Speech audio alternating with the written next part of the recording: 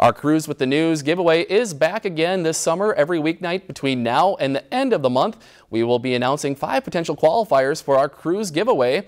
If you see your name on the screen, just give us a call before the end of the next business day and you'll be entered in the grand drawing. Tonight's potential qualifiers are Bridget Hughes of Bemidji, Clarissa Chestnut of Clearbrook, Bob Batchelder of Bemidji, Mark Gullixrud of Solway, and Sharon Hocuff of Pinewood. Just call the number on the screen by 5 p.m. tomorrow and you'll have a shot at walking away with our 2016 Cruise with the News grand prize.